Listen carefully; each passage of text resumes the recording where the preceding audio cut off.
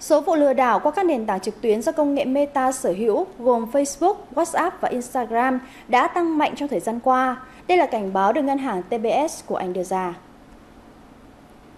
Theo nghiên cứu từ ngân hàng TSB của Anh, số vụ lừa đảo trên các nền tảng của Meta chiếm tới 80% tổng số vụ lừa đảo theo hình thức mạo danh, mua hàng và đầu tư mà ngân hàng TSB thống kê. Chiêu thức phổ biến nhất mà kẻ lừa đảo sử dụng là giả làm bạn bè hoặc người thân của nạn nhân. Chúng sử dụng phương thức liên lạc qua mạng WhatsApp hoặc nền tảng nhắn tin khác, tìm cách chiếm được lòng tin của mục tiêu, sau đó sẽ hỏi vay tiền và thực hiện hành vi chiếm dụng.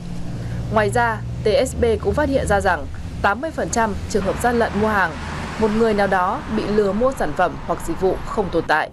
Thông qua các nền tảng của Meta, chủ yếu xuất hiện trên trang Facebook, Marketplace, chợ mua bán trên mạng Internet. TSB nhấn mạnh các công ty truyền thông xã hội cần phải khẩn trương giả soát những nền tảng xã hội mà họ sở hữu để bảo vệ những khách hàng đang sử dụng dịch vụ của họ hàng ngày.